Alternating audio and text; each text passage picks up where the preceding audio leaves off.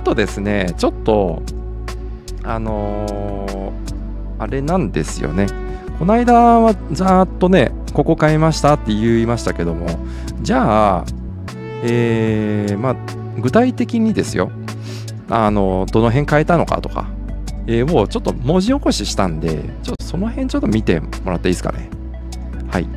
じゃん ってことで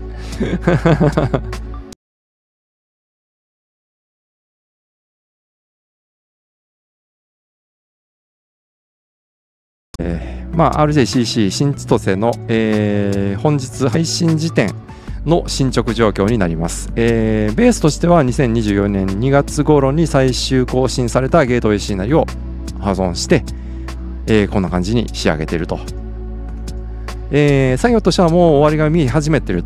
これ前も言ってましたね。3月26日ぐらいにも言ってました。え で目標もこれもあの前と同じです。あの扇形の建物をそれっぽい形にしたらあの提出します。はい。えー、ということでですね、あのー、書いたところ、調整したところ、ちょっと具体的に上げてみました。はい。意外とね、ちょっと、あ、多いなと思って、なんかやってる時は全然気づかなかったんですけど、あ、意外と多いなと思ったところね、あの、会長書きで申し訳ないですけども、文字ちっさ。文字ちっさ。読めない読めない。どう読むの？えなんなんなんて？なんて？なんか箇条書きにしたらなんかこんな感じだったじゃん。で、ちょっとね、これだと、これだとさすがにね、さすがに舐めてんのかてめえと。